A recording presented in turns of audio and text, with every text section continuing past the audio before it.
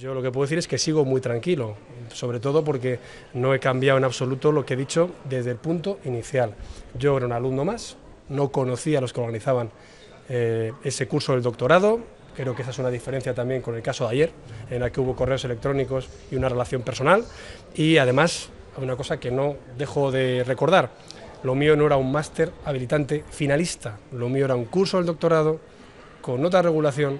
con otra normativa, e incluso bueno, pues con otra eh, enmarque en el Plan Bolonia. Un curso del doctorado, eh, sus eh, trabajos aportados no son públicos, yo al final no escribí la tesis, no son tampoco un mérito académico, es decir, yo ahora no puedo retirar ningún título de la Secretaría porque no inscribí la tesis, que es el punto final de un curso del doctorado. Yo entiendo que diez años después es muy difícil explicar a aquellos alumnos que están haciendo másteres de 5.000 euros en universidades privadas que yo pagara 600 euros, que lo mío fuera un curso que se superaba con cuatro asignaturas y el resto convalidadas, pero cualquier persona que sepa de lo que era un diploma de estudios avanzados o un curso del doctorado hasta Bolonia sabe perfectamente que eso es lo que se hacía.